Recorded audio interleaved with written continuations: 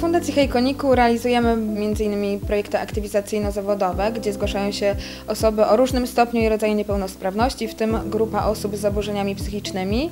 E, Te projekty są na- nakierowane na to, aby poszukiwać im zatrudnienia na otwartym rynku pracy. E, Są też projekty, które realizowane są dla grupy seniorów, a także hipoterapia dla dzieci. Osoby, które do nas przychodzą, często nie mają żadnego doświadczenia zawodowego. E, Z tym łączy się, łączą się wie- wiele obaw związanych z pójściem do pracy, zmianą sposobu życia, e, z powiadomieniem o, tym, o tej zmianie nawet najbliższego, najbliższego otoczenia. Więc często na spotkaniach, czy indywidualnych, czy grupowych, pracujemy nad takimi podstawami. E, Są to zazwyczaj podstawy dotyczące higieny, sposobu zachowania, ubioru, tego jak się zachować w miejscu takim, jakie jest praca, jak się po- poruszać w komunikacji miejskiej.